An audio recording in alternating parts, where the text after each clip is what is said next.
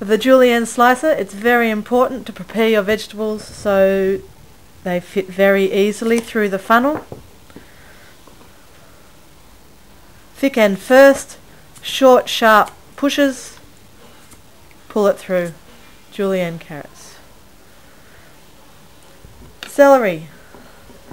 Prepare it so it fits very easily through the funnel.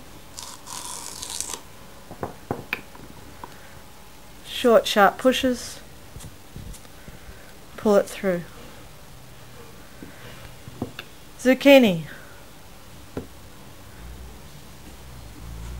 Cut it so that it fits easily through the funnel.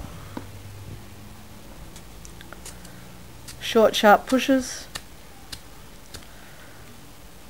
If anything ever gets stuck, hit it on the bench and pull it through.